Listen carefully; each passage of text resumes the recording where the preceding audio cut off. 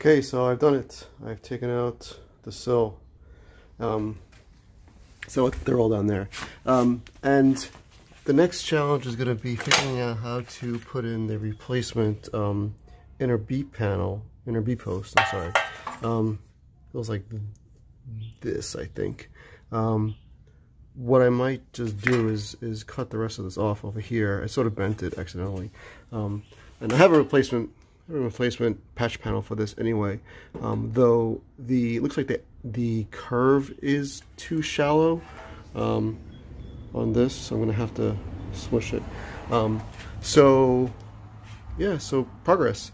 Um, something else that I noticed was that um, the floor is a little saggy now, which is a little disconcerting.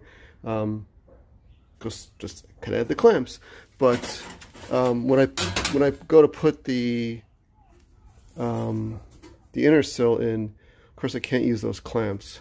So I have to figure out what I'm going to do. That's a little while off though because I still have to repair that and I still have to do the A-post. Um, so uh, I guess that's it for now. Thanks for watching.